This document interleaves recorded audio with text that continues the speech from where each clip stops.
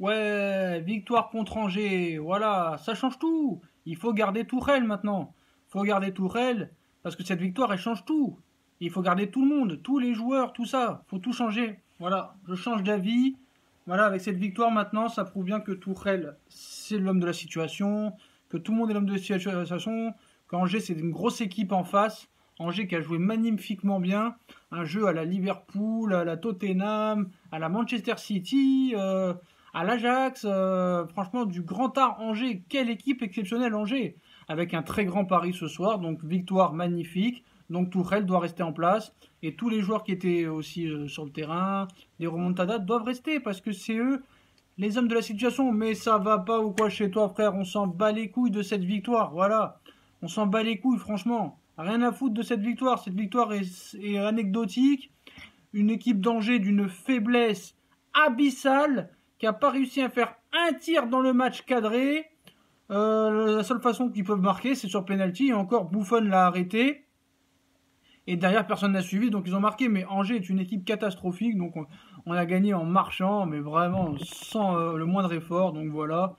Les gars, les potos, je vais pas parler beaucoup du match parce qu'il n'y a rien à dire. Moi, tout ce que j'ai dit, je l'ai déjà dit. Je l'ai dit dans le live. Allez voir tout à l'heure, un live super intéressant on parle de tout, du mercato, de Tourelle, de Nasser, d'Antero Henrique, du Prince, des joueurs à virer, à garder.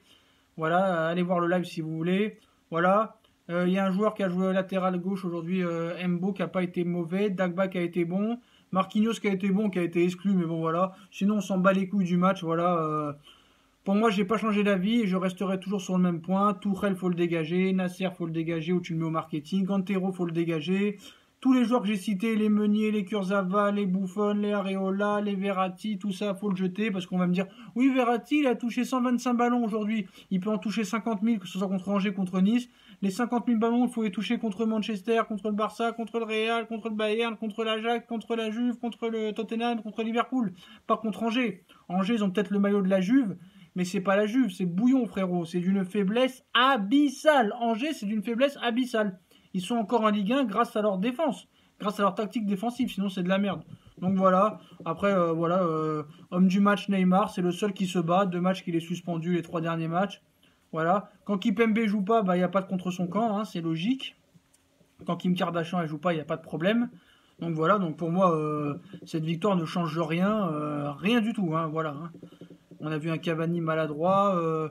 Mes trois tops, ce serait euh, euh, Neymar, Dagba et Di Maria qui a vraiment été bon. Donc voilà, mais le reste, moi, il n'y a rien qui change. Tu peux pas continuer la saison avec Tourelle. Nasser, écoute-moi, je t'en supplie, écoute-moi. Tu peux pas continuer la saison prochaine avec Tourelle. Tu savais déjà que tu prenais un mauvais au départ, qui a jamais rien fait, ne serait-ce qu'avec ses équipes qu'il a eues ou ne serait-ce qu'il a été adjoint, il n'a même pas été adjoint d'un grand entraîneur, comme Zidane l'a fait ou comme les autres l'ont fait. Donc voilà, c'est pas l'homme de situation, c'est un guignol. Prends qui tu veux à sa place, il, fera la même chose minimum mieux. Voilà, au minimum mieux, que tu prennes n'importe qui. C'est un guignol. Il n'a pas de CV, il fait que des câlins aux joueurs. Continue pas avec ce mec-là, je t'en supplie. Et le recrutement, tu dois pas le rater. Déjà, vire les joueurs qui ont pu être là et prends des joueurs de Réa qui sera peut-être libre, Herrera qui sera peut-être gratuit, Godin qui sera peut-être gratuit, prends-moi un Koulibaly, prends-moi un Alan, et avec un coach qui porte ses couilles, qui ait des couilles sur le terrain. C'est ça qu'il faut. Le plus, c'est ça. Voilà. C'est ça qu'il faut. Mais tu peux pas continuer avec la saison qu'il a fait avec Tourelle. Ce n'est pas possible. Stratégiquement, c'est pas possible. Tu vas te foutre la honte. Regarde, Valverde, il a gagné le championnat et la Coupe d'Espagne, il va se faire virer. C'est le c'est la logique. Toi, avec la saison que tu as fait, tu peux pas continuer.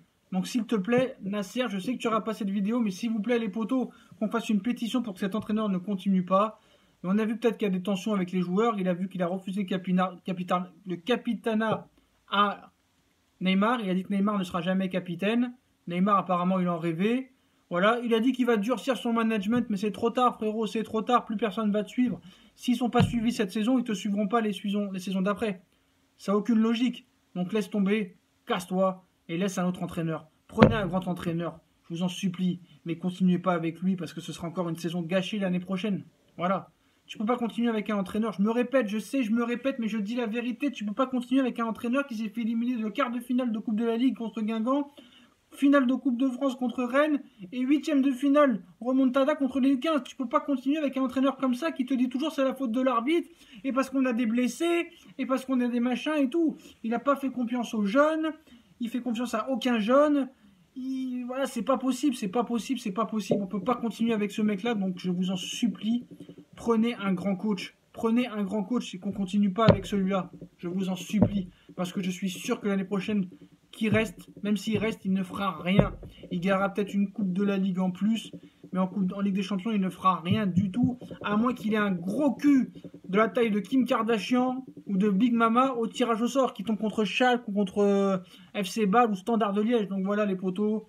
Voilà, il faut des chiens, il faut des chiens sur le terrain, des chiens, chiens, chiens, des morphales. Voilà ce qu'il faut. Plus un entraîneur qui ait des couilles. Voilà les poteaux, comme d'habitude, si vous avez kiffé la vidéo, likez, partagez, commentez. Voilà, il n'y avait pas grand chose à dire. On a tout dit dans le live.